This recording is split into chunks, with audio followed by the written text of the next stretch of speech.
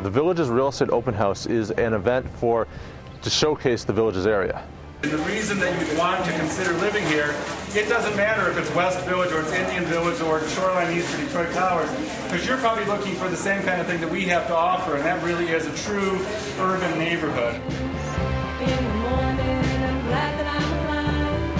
People don't really know who we are and what we are, so we wanted to do something where it would, where it would uh, promote the entire area, all the different housing we have, and how and the different groups we have in the neighborhood, and, and what we do. You have houses of all sorts, many of them significant homes, uh, top uh, architects of the time, Albert Kahn and uh, the rest of his uh, era built most of these homes. Most of these homes are also owned by the, the auto barons, Fords, Dodges.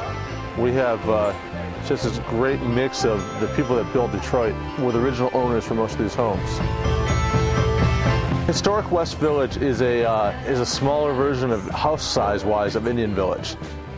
Turn of the century houses ranging from the 1890s to uh, 1910, 1915 era housing, anywhere from small wood frame historic homes to 5,000 square foot historic homes.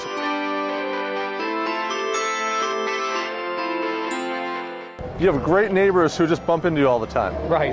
That, that's one of the best things about living here. You know everyone. I think all cities today and suburbs are trying to replicate an urban experience in their little downtowns.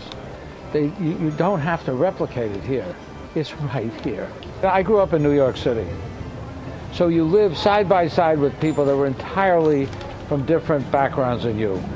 And you, you, you, you profited from that.